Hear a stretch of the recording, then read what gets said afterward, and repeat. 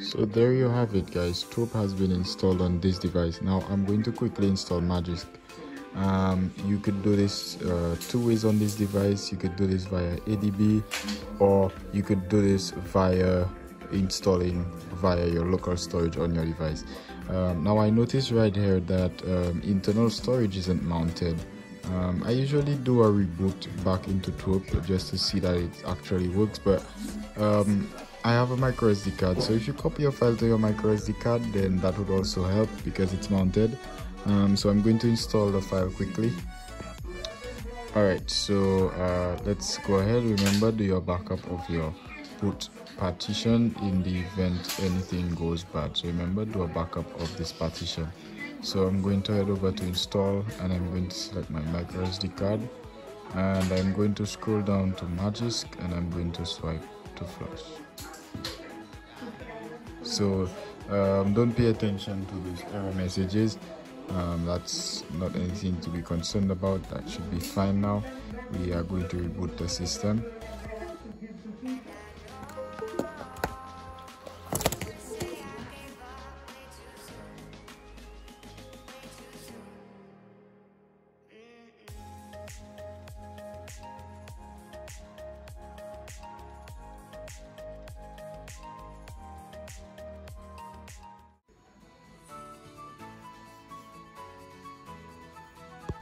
all right so the phone has booted up. Let's open it up. Let's see what's going on.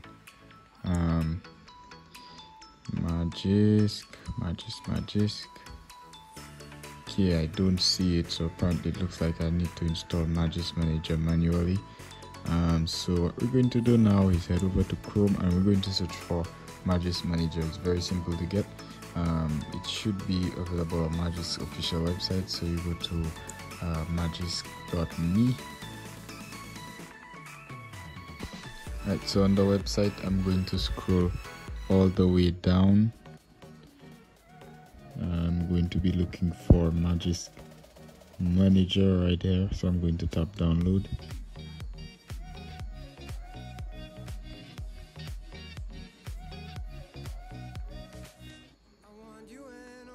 So i'm going to tap down tap download right here going to forward me to another website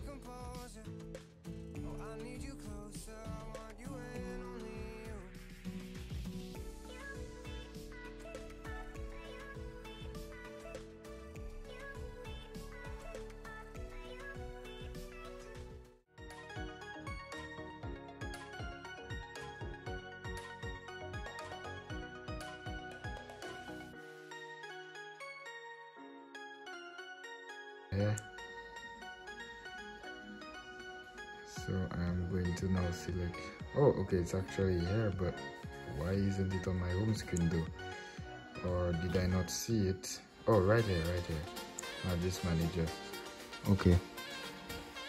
So i guess it probably takes a couple seconds before it shows up on the home screen. But anyway if it doesn't just head over to Magisk website to download it so i'm just going to open it up just to ensure it's working and i'm going to open up my root checker application so we can verify. So it's opened up it's working. So let's go over to the root checker application. I have this application right here. I'm going to open it up to test it and we'll come to the end of the video after this. So let's wait and see what happens.